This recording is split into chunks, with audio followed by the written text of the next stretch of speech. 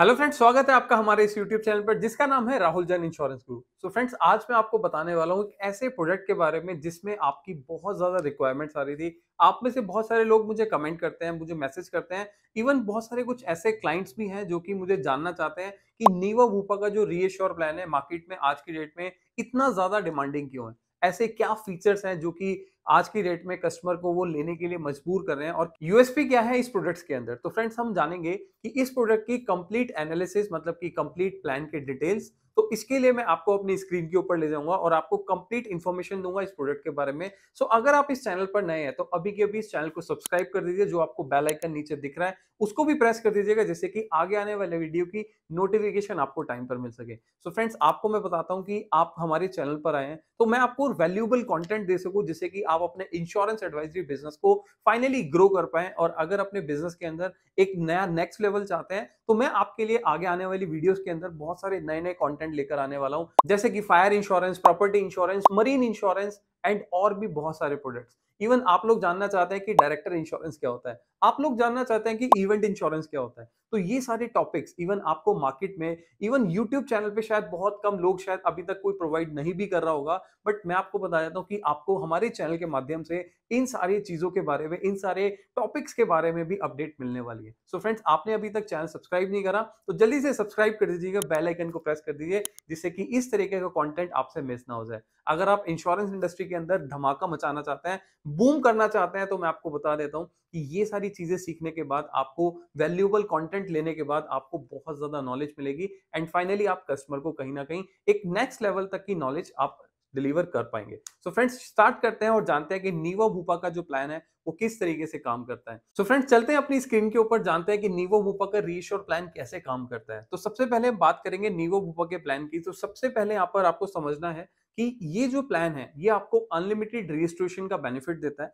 अब unlimited registration का benefit यहाँ पर किस तरीके से मिलेगा और क्या होगा, वो हम बाद में सीखेंगे। बट सबसे पहले मैं आपको ये समझा देता हूँ कि यहाँ पर इस प्लान का जो यूएसपी है, जो हम बात कर रहे थे यूएसपी की तो यहाँ पर आपको समझना है कि यहाँ पर अनलिमिटेड रजिस्ट्रेशन मिलता है। एक साल में अगर आपको दस बार क्लेम लेने की ज़रूरत है तो दस बार भी क्लेम मिल जाएगा। एंड दूसरी चीज़, ये आपका जो ट्रिगर करता है, वो फ़र्स्ट क्लेम के बाद ऑटोमेटिकली ट्रिगर कर जाएगा। मतलब कि ऐसा नहीं है कि आपका जब बेसिक सम खत्म हो जाता है, तब आपको दूसरी बार यहाँ पर पूरा दस लाख रुपए का पॉलिसी है। तो दस लाख रुपए का पॉलिसी का सम खत्म हो जाएगा तो आपको दोबारा रिस्टोरेशन बेनिफिट मिलेगा रीएश्योर बेनिफिट मिलेगा, ऐसा नहीं है। आपको अगर आपका पाँच लाख का क्लेम है और आपको दोबारा पैसे की ज़रूरत है, दोबारा रिस्कवर की ज़रूरत है तो दस लाख का जो रिस्टोरेशन बेनिफिट है, वो आपको ट्रिगर कर जाता है। तो यहाँ पर आपको रीश्योर बेनिफिट अनलिमिटेड टाइम मिल रहा है। दूसरी चीज़ इसके अंदर ये है कि फ़र्स्ट क्लेम से आपका ये ऑटोमेटिकली ट्रिगर कर जाता है। यहाँ पर आपको बेसिक सम एश्योर्ड को एग्जॉस्ट करने की ज़रूरत नहीं है। दूसरी चीज़ हम बात करेंगे बूस्टर बेनिफिट जो कि आपका 2x तक हो जाता है। मतलब कि यहाँ पर इसकी हम बात कर रहे हैं नो क्लेम बोनस की। अगर आपने मान लीजिए दस लाख रुपए का इंश्योरेंस प्लान लिया है, आपने फ़र्स्ट ईयर क्लेम नहीं लिया तो आपको ये 50 परसेंट से इंक्रीज हो जाएगा एंड सेकेंड ईयर अगेन ये 50 परसेंट से इंक्रीज हो जाएगा। तो ये आपका तीन साल के अंदर, लगभग अगर मैं बात करूँ तो तीन साल के अंदर ये आपका डबल बेनिफिट देगा टू एक्स तक का बेनिफिट देगा। अगर आप 20 लाख की पॉलिसी ले रहे हैं तो 40 लाख का बेनिफिट होगा 50 लाख की पॉलिसी ले रहे हैं तो एक करोड़ का बेनिफिट आपको इस प्लान के अंदर मिल जाता है।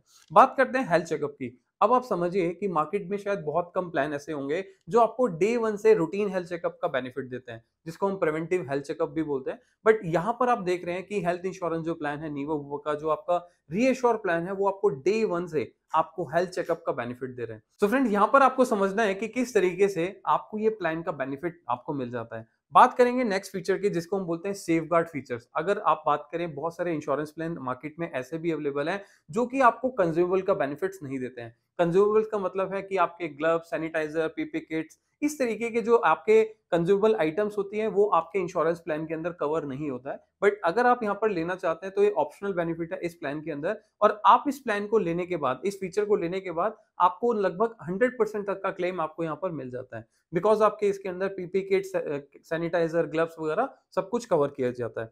दूसरा यहाँ पर बात करेंगे इसके यूएसपी के अंदर, कि अगर मान लीजिए आप डेली काउंट करते हैं मतलब कि टेन स्टेप डेली वॉक करते हैं तो लगभग सात किलोमीटर का डेली का आपका वॉक रहता है तो कंपनी रिन्यूअल के टाइम पे अप टू थर्टी परसेंट तक का आपको डिस्काउंट देती है, जो कि आपके प्रीमियम से डिस्काउंट होगा। लेट सपोज़ आपने दस हज़ार का प्रीमियम पे किया और आपने सेवन किलोमीटर पर डे चला और अपने तीन सौ पैंसठ दिन तक आपने ये किया तो आपको लगभग थर्टी परसेंट तक का रिन्यूअल डिस्काउंट मिल जाएगा। तो ये फीचर भी कंपनी आपको देती है। इसके बाद बात करेंगे यहाँ पर जो सबसे मेन चीज़ है, वो आपको समझना है कि क्लेम सेटलमेंट कितने टाइम के अंदर हो जाता है, जिसको हम बोलते हैं टर्न अराउंड टाइम तो यहाँ पर आपको समझना है कि 30 मिनट्स का क्लेम प्रोसेसिंग इसका कंपनी का मिल जाता है। मतलब मार्केट में बहुत सारे ऑप्शन ऐसे हैं जो कि आपको दो घंटे में, एक घंटे में, चार घंटे में कमिटमेंट करते हैं। अगर हम कोई कंपनी ऐसी बात करें तो इवन आज की डेट में अगर गवर्नमेंट सेक्टर की कंपनी की बात करें तो शायद आपको एक दिन का भी टाइम मिलता है।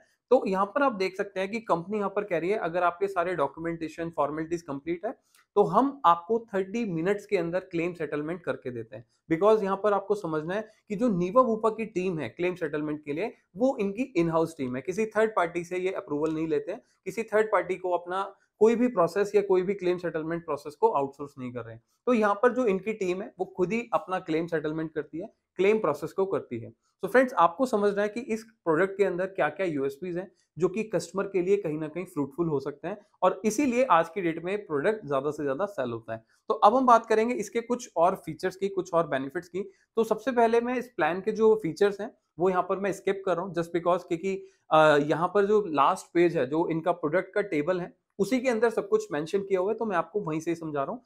यहाँ पर आपको समझना है कि ये प्रोडक्ट जो है तीन लाख से लेकर एक करोड़ के समिशोर तक अवेलेबल है। यहाँ पर आप देख सकते हैं, तीन लाख, चार लाख, पाँच लाख, साढ़े सात लाख, दस लाख, साढ़े बारह लाख, पंद्रह लाख, बीस लाख, पच्चीस, पचास पिछहत्तर और एक करोड़। मतलब कि इस सम में आप कोई भी पॉलिसी टर्म ले सकते हैं, कोई भी पॉलिसी का प्लान ले सकते हैं। इसके बाद हम बात करेंगे जो benefits cover up to sum है। मतलब कि अगर आप 10 लाख की पॉलिसी ले रहे हैं तो 10 लाख तक क्या क्या चीज़ें कवर है? या आपने 20 लाख की पॉलिसी लिया तो 20 लाख तक क्या क्या चीज़ें कवर है? तो यहाँ पर सबसे पहले बात करेंगे इन पेशेंट केयर की। मतलब कि जब भी हम हॉस्पिटल में एडमिट होते हैं तो हमें कहीं ना कहीं इन पेशेंट के लिए एक रूम लेना होता है, या आईसीयू का एक रूम लेना होता है। जहाँ पर हमारे को एक, जिसको हम बोलते हैं बेड फैसिलिटीज़ तो यहाँ पर आप देख सकते हैं without any room rent capping आपको ये पॉलिसी मिल जाती है। इवन मार्केट में बहुत सारे प्लान्स ऐसे हैं जो आपको one percent of the room rent capping देते हैं। अगर आप आईसीयू के अंदर जाके रूम लेते हैं या ट्रीटमेंट लेते हैं तो आपको two percent of the sum insured policy का आपको बेनिफिट मिलता है। बट आप देखिए कि अगर मान लीजिए आपने पाँच लाख रुपए की पॉलिसी लिया और वन परसेंट का कैपिंग लगा हुआ है तो आपको पाँच हज़ार रुपए पर डे का ही रूम मिलेगा, इससे ज़्यादा का रूम नहीं मिलेगा। अगर इससे ज़्यादा का रूम लेना चाहते हैं तो आप अपनी पॉकेट से पे करके जा सकते हैं। बट इवन वहाँ पर आपको एक लिमिट मिल जाती है कैपिंग मिल जाती है तो इससे ज़्यादा का रूम नहीं मिल सकता। बट यहाँ पर नीवा भूपा के अंदर आप देख रहे हैं कि यहाँ पर नो रूम रेंट कैपिंग है। आप चाहे डीलक्स रूम ले लीजिए, आप चाहे सुपर डीलक्स रूम ले लीजिए इवन आप सूट रूम भी लेना चाहते हैं तो यहाँ पर आप ले सकते हैं। तो नीवा भूपा वाले प्रोडक्ट के अंदर आपको सबसे मेन चीज़ यहाँ पर इस चीज़ का बेनिफिट मिल जाता है कि आप नो रूम रेंट कैपिंग के साथ पॉलिसीज़ को ले सकते हैं। नेक्स्ट बात करेंगे डे केयर ट्रीटमेंट की। अब मान लीजिए हम हॉस्पिटल में जाते हैं या कभी भी हमारे को कोई ऐसी प्रॉब्लम हो जाती है जो कि टेक्नोलॉजी एडवांसमेंट की वजह से वो ट्रीटमेंट 24 घंटे से कम में हो जाता है। जैसे कि हम सुनते हैं कि लेजर ट्रीटमेंट मुझे कराना है तो ऐसे ट्रीटमेंट जो कि 24 घंटे से कम में हो जाते हैं, जैसे कि एग्ज़ाम्पल मैं आपको दे देता हूँ हर्निया का ऑपरेशन हो सकता है कैटरेक्ट का ऑपरेशन हो सकता है, आपका स्टोन का ऑपरेशन हो सकता है, जिसमें दो तीन घंटे का ट्रीटमेंट है और उसके बाद आप घर जा सकते हैं। तो ऐसे ट्रीटमेंट आपके डे केयर के अंदर आते हैं और वो सारे के सारे ट्रीटमेंट इंश्योरेंस कंपनी यहाँ पर कवर करती है। तो आपको समझना है कि day treat day care treatment के अंदर क्या क्या चीज़ें आती हैं तो वो मैंने आपको बताया। इसके बाद बात करेंगे ऑल्टरनेटिव ट्रीटमेंट्स ऑल्टरनेटिव ट्रीटमेंट्स का मतलब होता है जिसको हम आयुष ट्रीटमेंट बोलते हैं, आयुर्वेदिक, यूनानी सिद्धा होम्योपैथिक तो यहाँ पर आपको समिश्योर तक का बेनिफिट मिल जाता है। अगर किसी भी चीज़ का बेनिफिट लेना चाहते हैं, किसी भी चीज़ का आप क्लेम लेना चाहते हैं तो यहाँ पर आयुष ट्रीटमेंट का बेनिफिट आपको इस पॉलिसी के अंदर मिल जाता है। बात करेंगे होम केयर ट्रीटमेंट की। अब घर पे रहकर आप ट्रीटमेंट लेना चाहते हैं या फिर हम इसको दूसरे तरीके से बताएँ तो इसको हम बोलते हैं डोमेसरी ट्रीटमेंट। मतलब कि आप घर पर रहकर ट्रीटमेंट लेना चाहते हैं, अब इसके लिए कंपनी ने कुछ कंडीशन लगाई हुई थी वो मैं आपको एक्सप्लेन करता हूँ। जैसे कि यहाँ पर होता है कि आप डोमेस्टिक ट्रीटमेंट लेना चाहते हैं तो यहाँ पर अगर पेशेंट की सिचुएशन बहुत ज़्यादा क्रिटिकल है या फिर हॉस्पिटल में बेड की अवेलेबिलिटी नहीं है तो दोनों केस के अंदर हम घर पर ट्रीटमेंट ले सकते हैं। अगेन यहाँ पर डॉक्टर रिकमेंडेशन होना चाहिए और तीन दिन से ज़्यादा का ट्रीटमेंट आपके घर पर होना चाहिए, तभी आपको इसका बेनिफिट मिलता है। यहाँ पर भी अगर आप दस लाख की पॉलिसी ले रहे हैं तो आपके सम तक का डोमेस्टिक बेनिफिट आपको मिल जाता है होम ट्रीटमेंट का बेनिफिट आपको मिल जाता है। तो यहाँ पर अगर आप जितना ज़्यादा सम छोड़ लेंगे, उतना ज़्यादा बेनिफिट होता है, उतना ज़्यादा आप यहाँ पर इंश्योरेंस कंपनी से क्लेम ले सकते हैं। In case of medical emergency आपको नहीं पता कि कितना खर्चा हो सकता है, कितना मेडिकल एक्सपेंस हो सकता है। तो फ्रेंड्स यहाँ पर हम नेक्स्ट पॉइंट की बात करेंगे लिविंग ऑर्गन डोनर ट्रांसप्लांट मतलब कि अगर कोई भी आपका ऑर्गन जो है बॉडी का जो पार्ट है वो अगर खराब हो जाता है या आपको कोई डैमेजेस हो जाते हैं तो आपको अगर ऑर्गन डोनेट करना है ऑर्गन ट्रांसप्लांट कराना है तो आपको यहाँ पर समय शोट तक का बेनिफिट मिल जाता है। तो अगर आपका कोई भी ऑर्गन खराब हो जाता है नॉर्मली हम ये समझते हैं कि किसी अच्छे हॉस्पिटल में पाँच लाख से लेके पच्चीस तीस लाख तक का यहाँ पर एक्सपेंस आता है। अगर आपके पास पॉलिसी ही अगर छोटे समय शोट की होगी तो उसका बेनिफिट फिर आपको उतने लिमिट तक मिल पाएगा, उससे ज़्यादा नहीं मिल पाएगा। सो मेक श्योर जब भी आप इंश्योरेंस प्लान लेने जा रहे हैं या लेने के लिए प्लान कर रहे हैं तो एक अच्छा समिशोड एक डिसेंट समिशोड का प्लान चूज़ कीजिएगा। इसके बाद मैं बात करूँगा प्री एंड पोस्ट हॉस्पिटलाइजेशन अब यहाँ पर आपको समझना है कि जब भी हम हॉस्पिटल में एडमिट होते हैं 24 घंटे के लिए ट्रीटमेंट लेते हैं तो उससे पहले के कुछ एक्सपेंसेस होते हैं एंड उसके बाद के कुछ एक्सपेंसेस होते हैं, जिसको हम pre hospitalisation and post hospitalisation expenses बोलते हैं। अब ये जो एक्सपेंसेस है, इनको हम रिम्बर्समेंट में क्लेम कर सकते हैं। अब इसके अंदर क्या क्या चीज़ें कवर है? आपको समझना है कि जब भी हम डॉक्टर के पास जाते हैं तो हम कंसल्टेशन फ़ीस देते हैं तो वो चीज़ इसमें कवर हो जाती है। दूसरा, जब भी हम डॉक्टर के पास जाते हैं डॉक्टर मेडिसिन लिखता है और हम अपने फार्मेसी फार्मेसी स्टोर के पास जाके उनसे बिल मेडिसिन लेते हैं तो आपके जो फार्मेसी के बिल्स हैं, वो भी यहाँ पर रिम्बर्स हो जाते हैं, जो आपके मेडिसिन हैं, वो भी रिम्बर्समेंट हो जाती है। तीसरा, अगर कोई भी डॉक्टर आपको रिकमेंड करता है कि ये रिपोर्ट्स करा लीजिए, आपको एक्सरे कराना चाहिए या एमआरआई कराना चाहिए तो वो सारे रिपोर्ट्स या ब्लड टेस्ट वगैरह के जो रिपोर्ट्स होते हैं, वो भी आप कंपनी से रिम्बर्समेंट करा सकते हैं, उन सब का पैसा भी आपको वापस मिल जाता है। तो ये तीन चीज़ें मेनली यहाँ पर कवर होती है। बट आपको फिर अगेन से ध्यान रखना है कि ये ओपीडी एक्सपेंसेस नहीं होने चाहिए मतलब कि आप इसके लिए अगर हॉस्पिटल में एडमिट हुए हैं तभी आपको प्री एंड पोस्ट हॉस्पिटलाइजेशन का जो एक्सपेंसेस है क्लेम करने का ऑप्शन मिल जाता है। मतलब कि अदरवाइज़ आप अगर हॉस्पिटल में एडमिट नहीं हो रहे हैं और घर पे रह के ट्रीटमेंट ले रहे हैं तो आपको ये बेनिफिट्स नहीं मिलेंगे। सो so, सबसे मेन चीज़ होती है इंश्योरेंस प्लान की 24 घंटे हॉस्पिटलाइजेशन होना उसके बाद ही आप सारी चीज़ों का बेनिफिट अवेल कर सकते हैं। सो so, ये होता है हमारा मेडिक्लेम पॉलिसी के अंदर जो बेस फीचर होता है। अब हम बात करेंगे रीएश्योर बेनिफिट जो कि इस प्लान का नाम है। और हम लोग जान रहे हैं कि आज की डेट में नीवा बुपा रीएश्योर प्लान सबसे ज़्यादा क्यों बिक रहा है? तो उसके बारे में बात करेंगे, जिसको मैंने बताया भी था कि अनलिमिटेड रिस्टोरेशन फ्रेंड्स हो सकता है कि थोड़ी सी वीडियो लेंदी हो जाए बट मैं आपको बोल रहा हूँ कि जब भी आप क्लाइंट के पास बैठे हैं तो इनकम्प्लीट इन्फॉर्मेशन मत दीजिएगा। तो आप ज़्यादा से ज़्यादा या कंप्लीट इन्फॉर्मेशन लेना चाहते हैं तो इस वीडियो को पूरा देखिएगा। तो मैं बात कर रहा था रीएश्योर बेनिफिट की, कि यहाँ पर अनलिमिटेड जो प्लान है, यहाँ पर अनलिमिटेड जो रजिस्ट्रेशन बेनिफिट है, वो कैसे काम करता है? तो यहाँ पर अगर आप 10 लाख का पॉलिसी ले रहे हैं और 10 लाख रुपए का आपका सम एश्योर्ड मान लीजिए कोई मेडिकल इमरजेंसी आ गई और तीन से चार महीने के अंदर वो खत्म हो जाता है। अब मान के चलिए तीन महीने बाद आपका दस लाख खत्म हो गया। अब नौ महीने का ड्यूरेशन बचा है पॉलिसी के लिए बट आपको अगर दोबारा से कोई मेडिकल इमरजेंसी आ गई, क्या आपको क्लेम मिलेगा? तो यहाँ पर मैं आपको वही समझाना चाह रहा हूँ कि अगर आपने दस लाख का पॉलिसी लिया, दस लाख आपका खत्म हो जाता है और दोबारा आप हॉस्पिटल में एडमिट होते हैं तो दस लाख रुपए का बेनिफिट आपको दोबारा से मिल जाएगा। यहाँ पर कंपनी कहती है कि आप सेम बीमारी के ऊपर और सेम पर्सन भी इसको अवेल कर सकता है। हालाँकि बहुत सारे इंश्योरेंस कंपनीज़ में ऐसा है कि आप सेम बेनिफिट्स या सेम पर्सन को आप बेनिफिट नहीं दे सकते सेम डिज़ीज़ के लिए इसका बेनिफिट नहीं दे सकते। बट नीवा वूपा के अंदर ऐसी कोई कंडीशन नहीं है। आप सेम डिज़ीज़ और सेम पर्सन दोनों के लिए बेनिफिट दे सकते हैं। सो so, यहाँ पर आपको अगर साल में दस बार इसी तरीके से दस दस लाख रुपए की ज़रूरत है तो आप multiple of ten lakh rupees का क्लेम ले सकते हैं। बट यहाँ पर एक चीज़ समझना है जो कि एक डिस्क्लेमर के रूप में मैं आपको समझा रहा हूँ कि आपका अगर क्लेम 12 लाख आ गया या 15 लाख आ गया तो मैक्सिमम जो कैपिंग है मैक्सिमम जो लिमिट है वो आपका बेसिक सम एश्योर्ड के ऊपर है जितने का आपने इंश्योरेंस प्लान लिया है। अगर आप 10 लाख का इंश्योरेंस प्लान चूज़ करें तो 10 लाख से ज़्यादा का क्लेम नहीं मिलेगा। अगर आप 20 लाख का ले रहे हैं तो 20 लाख से ज़्यादा नहीं मिलेगा। आप अगर 20 का ले रहे हैं तो मल्टीपल ऑफ़ 20 लैक्स का आप साल में पाँच बार, दस बार, बीस बार इवन कभी भी ज़रूरत पड़ेगी तो ले सकते हैं। बट यहाँ पर उससे ज़्यादा का सम का क्लेम लेना चाहते हैं तो वो नहीं मिलेगा। तो मेक श्योर sure आप ज़्यादा से ज़्यादा या बड़े से बड़ा समिशोर चूज़ कीजिए, जिससे कि आपको बेनिफिट मिल जाए। सो नेक्स्ट यहाँ पर हम बात करेंगे बूस्टर बेनिफिट बूस्टर बेनिफिट का मतलब होता है जिसको हम बोलते हैं नो क्लेम बोनस हालाँकि मेरी गाड़ी के अंदर भी नो क्लेम बोनस होता है, जिसमें मेरा प्रीमियम कम हो जाता है। बट हेल्थ इंश्योरेंस में ऐसा नहीं है। हेल्थ इंश्योरेंस में थोड़ा सा डिफरेंट होता है। मान लीजिए मैं दस लाख रुपए की पॉलिसी ले रहा हूँ और मेरी पॉलिसी के अंदर कोई भी क्लेम नहीं आएगा तो मेरी पॉलिसी दस लाख से अगले साल फिफ्टी परसेंट इंक्रीज हो जाएगी तो पंद्रह लाख हो जाएगी। अगेन अगर मैंने सेकेंड ईयर भी क्लेम नहीं लिया तो थर्ड ईयर पे जब मैं प्रीमियम दूँगा कंपनी को तो उसके बाद मेरी पॉलिसी का जो बेनिफिट है वो 50 परसेंट और इंक्रीज हो जाएगा मतलब कि 15 लाख से 20 लाख हो जाएगा। तो ये आपका 50 परसेंट इंक्रीज होता है फ़र्स्ट ईयर में 50 परसेंट इंक्रीज होता है सेकेंड ईयर में तो आपका ये टोटल टू हो जाता है अगले तीन सालों के अंदर। तो आप सोचिए कि अगर मैं 50 लाख रुपए की इंश्योरेंस क्लेम ले रहा हूँ पॉलिसी ले रहा हूँ तो 50 लाख की पॉलिसी अगले साल पिछहत्तर लाख हो जाएगी और पिछहत्तर लाख के बाद सीधा एक करोड़ जाएगी। अब तीन साल मैंने पॉलिसी चलाया और तीन साल के बाद मैं एक करोड़ रुपए तक का क्लेम कभी भी कहीं भी ले सकता हूँ इंश्योरेंस कंपनी से। तो फ्रेंड्स आपको ये समझना है कि ज़्यादा समय शोर्ड होगा तो ज़्यादा बेनिफिट होगा। तो मैंने आपको बताया कि आपका जो बूस्टर बेनिफिट है, जो नो क्लेम बोनस का बेनिफिट है, वो किस तरीके से काम करता है? हाँ यहाँ पर एक चीज़ और है कि अगर मान लीजिए मैं तीन साल के बाद जब भी मेरा समय शोर्ड दस लाख से बीस लाख हो गया या पचास लाख से एक करोड़ हो गया और अगले साल मेरे को क्लेम की ज़रूरत पड़ती है या पैसा लेने की ज़रूरत पड़ती है मेडिकल इमरजेंसी के केस में तो अगले साल जब भी मेरी पॉलिसी रिन्यू होगी तो 50 परसेंट वापस डिक्रीज हो जाएगा। जैसे वो इंक्रीज हुआ था, उसी तरीके से डिक्रीज हो जाएगा। कंपनी कहती है कि हम आपके प्रीमियम में कोई चेंजेस नहीं कर रहे। हम आपका प्रीमियम कम ज़्यादा नहीं कर रहे जैसा कि मोटर इंश्योरेंस में होता है बट आपके जो रिस्क कवर है, आपका जो बेनिफिट है, उसमें हम आपको कम ज़्यादा का बेनिफिट कर देंगे। तो यहाँ पर आपको समझना है कि नो क्लेम बोनस कैसे काम करता है। पचास परसेंट इंक्रीज हुआ, फिर पचास इंक्रीज हुआ डबल हो गया। बट अगर आपका क्लेम आया, पचास डिक्रीज हुआ, फिर दोबारा पचास डिक्रीज हुआ, इस तरीके से काम करेगा।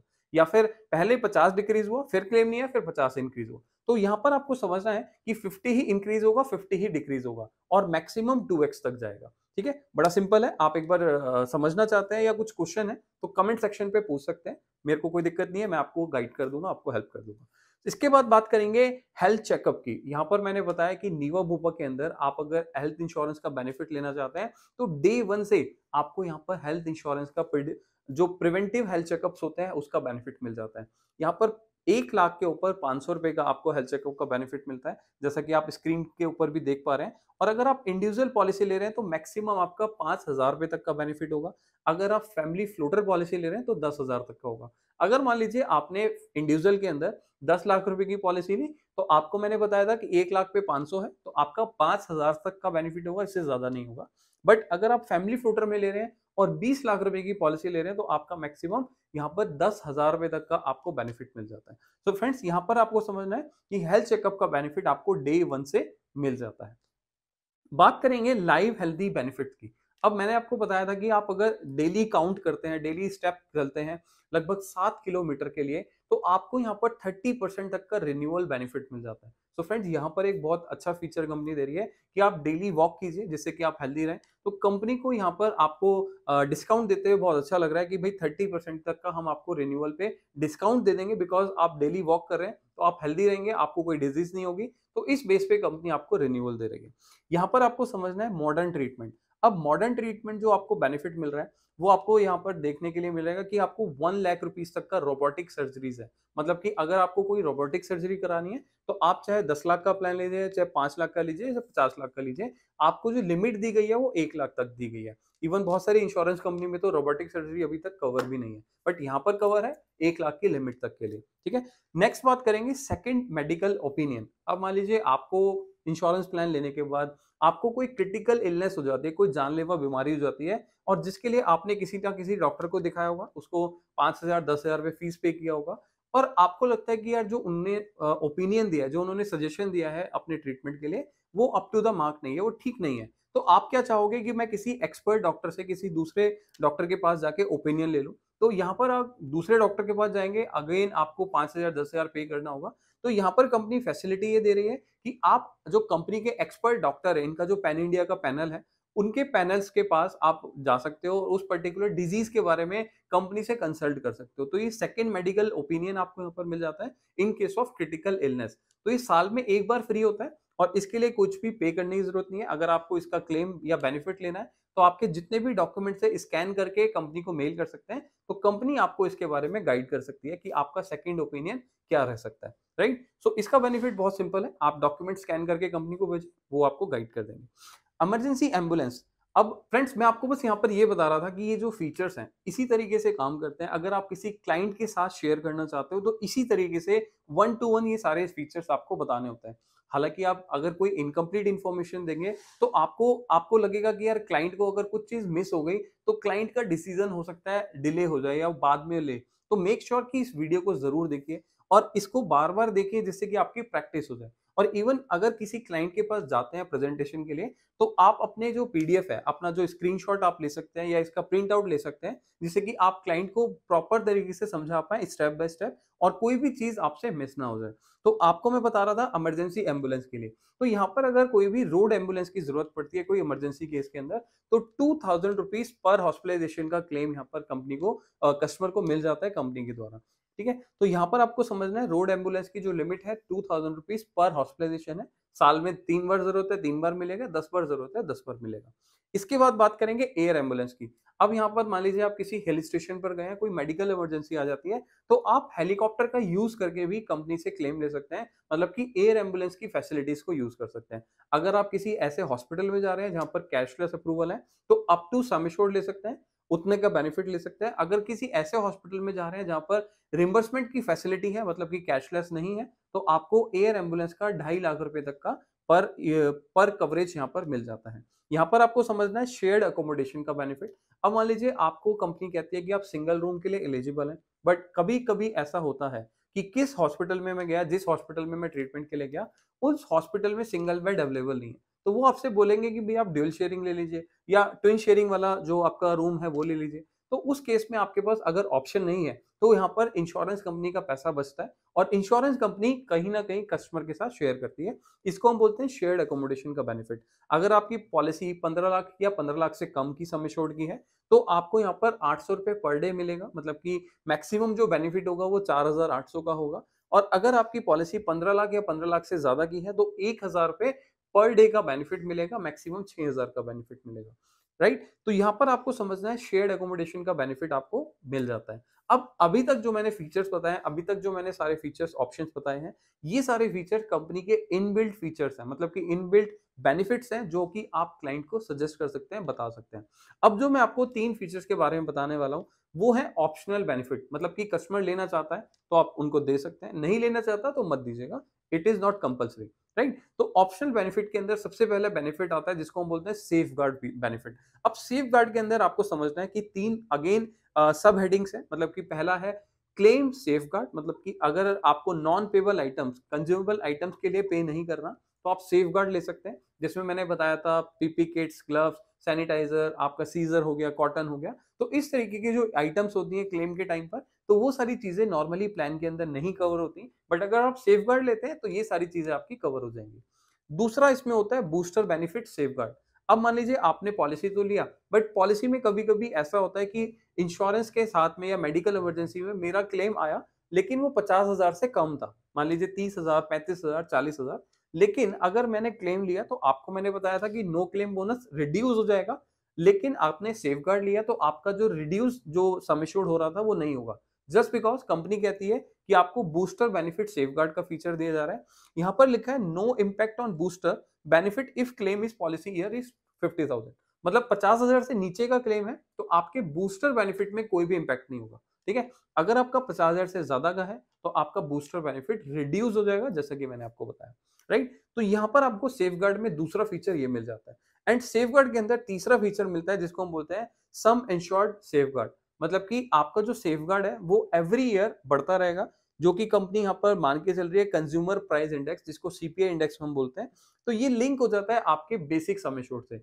अब आप मान के चलिए कि आपने इंश्योरेंस प्लान लिया, अब ये लोग ये चीज़ आपको भी पता है, मुझे भी पता है कि डेली की डेली मतलब कि एवरी ईयर आपका मेडिकल कॉस्ट इंक्रीज हो रहा है जस्ट बिकॉज़ ऑफ़ इन्फ्लेशन तो गवर्नमेंट ने एक स्टैंडर्ड मान लिया इंश्योरेंस कंपनी ने एक स्टैंडर्ड मान लिया कि आपका जैसे जैसे इन्फ्लेशन बढ़ रहा है गवर्नमेंट के हिसाब से वही सेम परसेंटेज से हम आपके इंश्योरेंस पॉलिसी का कवरेज बढ़ाते रहेंगे। एग्ज़ाम्पल गवर्नमेंट ने बोला छह परसेंट इन्फ्लेशन है। तो इंश्योरेंस कंपनी क्या करेगी? दस लाख की पॉलिसी में छह परसेंट का सम इंक्रीज कर देगी एवरी ईयर मतलब छह परसेंट इस साल, छह परसेंट अगले साल, छह परसेंट अगले साल, या कभी इन्फ्लेशन सात परसेंट है गवर्नमेंट का तो सात परसेंट तो इस तरीके से आपका जो बेसिक सम है इंक्रीज होता रहेगा और वो कभी भी इंक्रीज होने के बाद क्लेम आए या ना आए, आपका डिक्रीज नहीं हुआ। राइट इसको हमने इसीलिए डाला है ऑप्शन को कि हम इन्फ्लेशन को बीट कर सके अपनी मेडिकल कॉस्ट को बीट कर सके। तो फ्रेंड्स ये तीन फीचर मिल जाते हैं आपको सेफ़ गार्ड के फीचर्स के अंदर। सो so, यहाँ पर आपको दूसरा ऑप्शनल बेनिफिट मिलता है जिसको हम बोलते हैं हॉस्पिटल कैश बेनिफिट अब आप देखते हो कि कहीं पर कस्टमर कहता है कि भाई मैं अगर हॉस्पिटल में एडमिट होता हूँ तो मेरे साथ कोई ना कोई फैमिली मेंबर भी होता है। अब फैमिली मेंबर का कहीं ना कहीं इनकम लॉस होता है अगर कोई पर्सन जॉब कर रहा है कोई बिज़नेस में है तो वो भी मेरे साथ एज एन अटेंडेंट हॉस्पिटल में जा रहा है। बट कहीं ना कहीं मेरे को उसका बेनिफिट नहीं हो रहा। हम दोनों लोगों को कोई इनकम नहीं आ रही इनकम बंद हो गई, लेकिन उसका लॉस हो रहा है। तो कस्टमर को एक ऑप्शनल बेनिफिट दिया जाता है हॉस्पिटल कैश बेनिफिट उनकी पॉलिसी के साथ एक एड ऑन राइडर है। अगर आप पाँच लाख तक की पॉलिसी ले रहे हो तो पर डे का आपका one thousand rupees per day का आपको एक्स्ट्रा हॉस्पिटल कैश बेनिफिट मिल जाता है। इसके लिए हालाँकि ऑप्शनल बेनिफिट जो भी आप लेंगे सेफ़ गार्ड हो गया या हॉस्पिटल कैश हो गया पर्सनल एक्सीडेंटल हो गया इसके लिए आपको एक्स्ट्रा पे करना पड़ता है, लगभग आठ परसेंट से लेके बारह पंद्रह परसेंट तक तो वो वेरी करेगा एज के ऊपर और आपका क्यों, कौन सा ऑप्शन है उसके ऊपर। राइट? तो यहाँ पर साढ़े सात लाख से लेके पंद्रह लाख का अगर मैं समय लेता हूँ तो आपको दो हज़ार रुपए पर डे का बेनिफिट मिल जाता है हॉस्पिटल कैश के अंदर। और अगर आप पंद्रह लाख से ऊपर की पॉलिसी ले रहे हैं समय उससे ज़्यादा है तो आपको चार हज़ार रुपए पर डे का बेनिफिट यहाँ पर इंश्योरेंस कंपनी से मिल जाता है। तो यहाँ पर आपको समझना है कि सेफ़ गार्ड के साथ आपको हॉस्पिटल कैश बेनिफिट का भी यहाँ पर अच्छा खासा बेनिफिट है। अगर आप इसको अवेल करना चाहते हैं तो एड ऑन लीजिए और इसका बेनिफिट आप क्लेम के टाइम पर ले सकते हैं। लास्ट यहाँ पर ऑप्शनल बेनिफिट है, जिसको हम बोलेंगे पर्सनल एक्सीडेंटल कवर अब इंश्योरेंस पॉलिसीज़ के अंदर अगर आपका रोड एक्सीडेंट हो जाता है और उस केस में मिसहैपनिंग होगी, या कोई भी ऐसा एक्सीडेंट जिसके बाद आपकी मिसहैपनिंग हो जाती है तो फैमिली को कोई भी एडिशनल बेनिफिट या कोई भी चीज़ नहीं मिल पाती एज एन कंपनसेशन राइट तो यहाँ पर अगर आप मान लीजिए पर्सनल एक्सीडेंटल कवर लेते हैं तो यहाँ पर insurance company five times of the basic sum अगर आप दस लाख की पॉलिसी ले रहे हैं तो मैक्सिमम पाँच गुना तक आपको इंश्योरेंस कवर देते हैं जो कि पर्सनल एक्सीडेंटल कवर होगा, इन केस ऑफ़ मिस तो आपकी फैमिली को, आपके नॉमिनी को पैसा मिल जाता है। और जो कि यहाँ पर आपको एक करोड़ तक का मिलता है, इससे ज़्यादा नहीं मिलेगा। मान लीजिए आप पचास लाख रुपए की पॉलिसी ले रहे हैं तो यहाँ पर एक करोड़ का समय मैक्सिमम है, इससे ज़्यादा नहीं मिलेगा। लेकिन पहली वाली जो लाइन थी, वो ये कह रही थी कि five times of the basic समय सम होगा तो उस हिसाब से ढाई करोड़ बनता है, लेकिन यहाँ पर एक करोड़ से ज़्यादा नहीं मिलेगा, क्योंकि इसके ऊपर लिमिट लगी है maximum of one C so friends यहाँ पर आपको समझना है कि पर्सनल एक्सीडेंटल भी आपको एक एडिशनल फीचर है। अगर आप लेना चाहते हैं तो ले सकते हैं, ये भी एक अच्छा फीचर कंपनी के साथ मिल जाता है। अब हम बात करेंगे ये सारे जो फीचर्स थे ये अभी तक हमने समझे क्या क्या चीज़ें थी जो इनबिल्ट कवर थी क्या क्या चीज़ें थी जो ऑप्शनल थी जो मुझे लेनी चाहिए या नहीं लेनी चाहिए, वो आपकी एडवाइस है कस्टमर को आप एडवाइस कर सकते हैं। अगर वो लेना चाहता है तो ले सकते हैं। अब फाइनली अब हम यहाँ पर कस्टमर को जब भी ये सारी चीज़ें समझाते हैं कस्टमर को बताते हैं कि, सर, आपका ये ये चीज़ें कवर है कस्टमर को बता देंगे कि, सर, ये भी मिलेगा, ये भी मिलेगा, ये भी मिलेगा। लेकिन कस्टमर के माइंड में एक चीज़ ज़रूर होती है कि, भाई, मेरे को ये बताओ कि चलो, ये चीज़ कवर है, ये चीज़ कवर है, लेकिन क्या चीज़ कवर नहीं है? क्या चीज़ आप इंश्योरेंस पॉलिसी में कवर नहीं कर रहे हो? सो हम उसके ऊपर भी थोड़ा सा ध्यान डालते हैं और मैं आपको बताता हूँ कि क्या चीज़ें हैं जो कि कुछ टाइम के बाद कवर होती हैं और क्या चीज़ ऐसी है जो कभी भी इंश्योरेंस पॉलिसी के अंदर कवर नहीं होती। राइट? सो सबसे पहले हम बात करेंगे कुछ वेटिंग पीरियड्स की एंड उनके एक्सक्लूजन की। तो यहाँ पर आपको समझना है, नॉर्मली तीन तरीके के वेटिंग पीरियड होते हैं। अगर आप देखना चाहते हैं तो मेरी स्क्रीन के ऊपर दिख जाएगा। आपको इनिशियल वेटिंग पीरियड आपको मिलेगा। इनिशियल वेटिंग पीरियड जो कि थर्टी डेज़ का होता है। अब थर्टी डेज़ के अंदर आपका कोई भी मेडिकल इमरजेंसी आ जाता है, एक्सेप्ट इंश्योरेंस में एक्सीडेंटल कवर। मतलब कि एक्सीडेंटल इंजरी है जो कि डे वन से कवर है।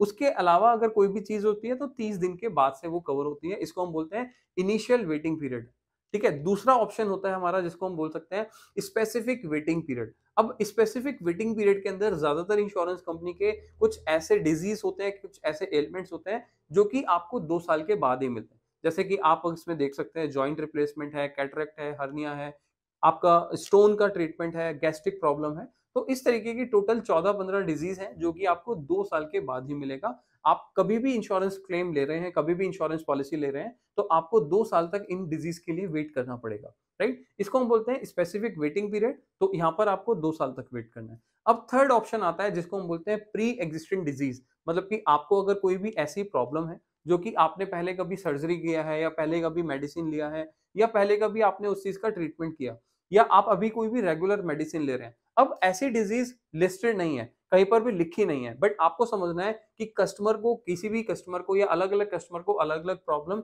या अलग अलग डिज़ीज़ हो सकती है। तो जो भी प्रॉब्लम है, जो भी डिज़ीज़ है, इसको हम बोलेंगे प्री एग्जिस्टेंट डिज़ीज़ अगर ऐसी कुछ प्रॉब्लम्स है तो ऐसी प्रॉब्लम्स को हम पॉलिसी लेते समय अपने प्रपोजल फॉर्म के अंदर या एप्लीकेशन फॉर्म के अंदर डालेंगे और उसके बाद कंपनी उन चीज़ों को, उन डिज़ीज़ को तीन साल के बाद कवर करती है। अब अगर वो क्रिटिकल सिचुएशन है, कोई जानलेवा प्रॉब्लम है या कोई बहुत ज़्यादा मतलब क्रिटिकल सिचुएशन है तो उस केस में इंश्योरेंस कंपनी आपके प्रीमियम के ऊपर लोडिंग लगा सकती है मतलब कि आपका इंश्योरेंस कवर बढ़ा सकती है। इस केस में आपका इंश्योरेंस कंपनी या तो आपका प्रीमियम बढ़ा सकती है या फिर इंश्योरेंस कंपनी उस पर्टिकुलर बीमारी को आपकी इंश्योरेंस कवर से हटा सकती है मतलब कि एक्सक्लूड कर सकती है उस पर्टिकुलर डिज़ीज़ को। यहाँ पर तीन चीज़ें मैंने बताई या तो आपका अप्रूवल हो जाएगा आपका एक्सक्लूज कर, एक्सक्लूजन करके तीन साल के वेटिंग पीरियड के साथ या फिर इंश्योरेंस कंपनी उस प्रॉब्लम के लिए आपको लोडिंग लगा सकती है प्रीमियम बढ़ा सकती है। या तीसरी चीज़ मैंने बताई कि कंपनी कह सकती है कि भाई हम इस प्रॉब्लम को जो आपने मेंशन करी है उस प्रॉब्लम को कवर नहीं करेंगे। उसके अलावा जो भी अगर कल को प्रॉब्लम हो जाती है फ्यूचर में तो उसको हम कवर करेंगे इसको हम बोलते हैं परमानेंट एक्सक्लूजन तो ऐसी डिज़ीज़ को भी या ऐसी प्रॉब्लम को भी इंश्योरेंस कंपनी डिसीज़न में ले सकती है। अगर ये डिसीज़न एडवाइजर के हाथ में नहीं होता। आपको ये भी समझना है, ये सारे डिसीज़न कहीं ना कहीं अंडर के हाथ में होता है। अगर इन केस कस्टमर आपको कोई ऐसी चीज़ बता रहा है और आपको उसके बारे में नहीं पता तो कस्टमर को बोल सकते हो कि भाई आपका जो डिसीज़न है इस पर्टिकुलर पॉलिसी के लिए वो कस्टमर का डिसीज़न एडवाइजर के हाथ में नहीं है, कंपनी के हाथ में जो कि अंडर टीम उनको टेक केयर करती है। तो फ्रेंड्स, मैंने आपको बताया तीन चीज़ें जो कि इनिशियल वेटिंग पीरियड है स्पेसिफिक वेटिंग पीरियड है एंड तीसरी चीज़ जो कि प्री एग्जिस्टेंट डिज़ीज़ के अंदर कवर की जाती है और ज़्यादातर इंश्योरेंस कंपनी तीन साल या चार साल में कवर करती है तो नीवा भूपा में वो तीन साल के बाद कवर हो जाती है। तो फ्रेंड्स, ये थे वेटिंग पीरियड्स जिसको मैंने आपको कंप्लीट इन्फॉर्मेशन के रूप में बताया। अब हम बात करेंगे कुछ ऐसे परमानेंट एक्सक्लूजन जो इंश्योरेंस कंपनी में कभी भी कवर नहीं किए जाते तो यहाँ पर हम स्पेसिफिकली न्यूवा की बात कर रहे हैं। तो न्यूवा भूपा में रीएश्योर प्लान के अंदर क्या क्या चीज़ें कवर नहीं है? तो चलिए समझते हैं। सबसे पहले बात करेंगे investigation evaluation and OPD treatments मतलब कि अगर मान लीजिए आपने सिर्फ़ कोई रिपोर्ट्स कराई है, जैसे एक्सरे कराया एमआरआई कराया बट हॉस्पिटल में एडमिट नहीं हुए ठीक है? या आपको फीवर हुआ था आपने डॉक्टर को दिखाया और उसके लिए हॉस्पिटल में एडमिट नहीं हुए, आपने सिर्फ़ मेडिसिन ली और आप ठीक हो गए बट हॉस्पिटल में एडमिट नहीं हुए। तो इसको हम बोलते हैं ओपीडी ट्रीटमेंट या फिर सिर्फ़ इन्वेस्टिगेशन आपने रिपोर्ट्स वगैरह कराई है। तो आप अगर ऐसे ट्रीटमेंट्स ले रहे हैं और हॉस्पिटल में एडमिट नहीं हो रहे हैं तो इंश्योरेंस कंपनी कभी भी इन चीज़ों को कवर नहीं करेगी। मतलब पर्टिकुलरली इस कंपनी के अंदर या इस प्रोडक्ट के अंदर आपको कवर नहीं मिलेगा राइट दूसरा यहाँ पर बात करेंगे अनप्रूवन ट्रीटमेंट अनरिकॉग्नाइज फिजिशियन और हॉस्पिटल आप किसी ऐसे हॉस्पिटल में जाते हैं या ऐसे डॉक्टर के पास जाते हैं जो कि सर्टिफाइड नहीं है गवर्नमेंट रजिस्टर्ड नहीं है। तो ऐसे डॉक्टर्स के पास जाके ट्रीटमेंट लेने से या ऐसे हॉस्पिटल में ट्रीटमेंट लेने से आपको इंश्योरेंस का क्लेम नहीं मिलेगा राइट ब्रीच ऑफ़ लॉ मतलब कि कॉन्फ्लिक्ट एंड डिजास्टर अब मान लीजिए कोई ऐसी प्रॉब्लम हो गई है ठीक है ब्रिच ऑफ़ लॉ में जैसे आ, कोई आपने लो तोड़ दिया या कोई आपकी लड़ाई हो गई या फिर आपने ट्रैफ़िक रूल तोड़ दिया और आपका एक्सीडेंट हो गया उस केस में तो ऐसे केस में अगर आपके साथ कोई इंजरी हो जाती है और आप हॉस्पिटल में एडमिट होते हो और उसमें स्पेसिफिकली लिखा हुआ है कि आपने कोई लॉ तोड़ा है और उसके बाद आप इंश्योरेंस क्लेम के लिए आप अप्लाई करते हो तो आपको इंश्योरेंस क्लेम नहीं मिलेगा। तो यहाँ पर आपको समझना है कि इंश्योरेंस क्लेम किस किस कंडीशन में नहीं मिल रहा है। यहाँ पर आपको समझना है एडवेंचर स्पोर्ट्स एक्टिविटी मान लीजिए आप पैराग्लाइडिंग कर रहे हैं, आप रिवर राफ्टिंग कर रहे हैं और उसके बाद आपको कोई इंजरी हो जाती है। तो आप अगर इंश्योरेंस क्लेम के लिए जाते हैं तो आपको इनका क्लेम नहीं मिलेगा राइट इसके बाद बात करेंगे change of gender change of gender treatment का आपको क्लेम नहीं मिलेगा प्लास्टिक सर्जरी का आपको ट्रीटमेंट नहीं मिलेगा स्लीप डिसऑर्डर का ट्रीटमेंट नहीं मिलेगा ड्रग्स या फिर एडिक्टिव कंडीशन के अंदर आप कोई भी चीज़ ले रहे हैं तो आपको कवर नहीं मिलेगा। डेंटल ट्रीटमेंट आपको यहाँ पर इंश्योरेंस कंपनी कवर नहीं कर रही है नीवा वोपा मेटर्निटी एक्सपेंसेस के रिलेटेड या इन्फर्टिलिटी के रिलेटेड आपको कोई भी ट्रीटमेंट नहीं मिलेगा। एच आई एड्स से रिलेटेड आपको कोई भी ट्रीटमेंट नहीं मिलेगा। एंड फाइनली इसमें मैं एक चीज़ बताता हूँ कि विद इन इंडिया आप किसी भी रीजन के अंदर क्लेम ले सकते हैं। आउटसाइड इंडिया आप ट्रीटमेंट लेना चाहते हैं तो इंश्योरेंस कंपनी ये कवर नहीं करती है। तो यहाँ पर विद इन इंडिया कोई भी आपका जोग्राफिकल ऑफ़ लिमिट जो है आपकी इंडिया की है, उसके बीच में ही आप यहाँ पर ट्रीटमेंट ले सकते हैं। इसके बाद लास्ट ऑप्शन यहाँ पर है कि सेल्फ इंजरी या फिर अटेम्प्ट टू सुसाइड या फिर कोई भी डिसऑर्डर है मेंटल डिसऑर्डर है तो आपको इन चीज़ों का भी क्लेम इंश्योरेंस कंपनी नहीं देती है। तो यहाँ पर मैंने बताया क्या क्या चीज़ें इंश्योरेंस कंपनी कवर नहीं कर रही है। तो फ्रेंड्स यहाँ पर आपको समझना है कि क्लाइंट को हम एक पहलू पे ना रखें। कस्टमर को जब भी हम चीज़ें बता रहे हैं तो क्या क्या चीज़ें कवर है और क्या क्या चीज़ें इंश्योरेंस कंपनी कवर नहीं कर रही है। तो उसको हम कंप्लीट इन्फॉर्मेशन दें। बाकी कस्टमर का डिसीज़न है कि उसको इंश्योरेंस प्लान लेना है, नहीं लेना। हालाँकि ये वीडियो बहुत लंबी हो गई है। थोड़ा सा आपको यहाँ पर मैंने बोला कि बाकी इन्फॉर्मेशन हो सकता है कि आपको अगर दोबारा देखने की ज़रूरत है तो आप दोबारा देखें।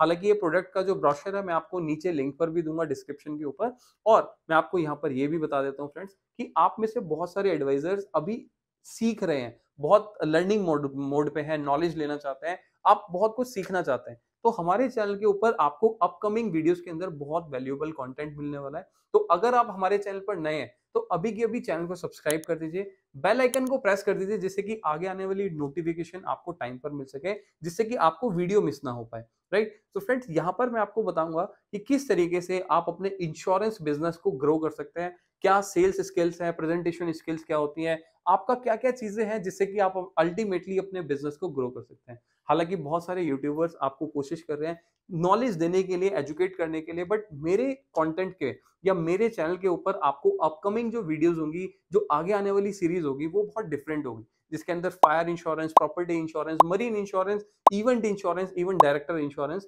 ये सारी चीज़ों के बारे में भी हम बात करेंगे। तो फ्रेंड्स आप चैनल को सब्सक्राइब कीजिए बेल आइकन को प्रेस कीजिए एंड अगर आपको वीडियो अच्छी लगी तो जल्दी से लाइक कीजिएगा शेयर कीजिएगा, जिससे कि लोगों को एजुकेशन मिल सके कि नीवा वोपा का रीएश्योर प्लान आज की डेट में सबसे ज़्यादा सेल क्यों हो रहा है। सो फ्रेंड्स अब हम मिलेंगे नेक्स्ट वीडियो में। Till the time be safe be in short thank you so much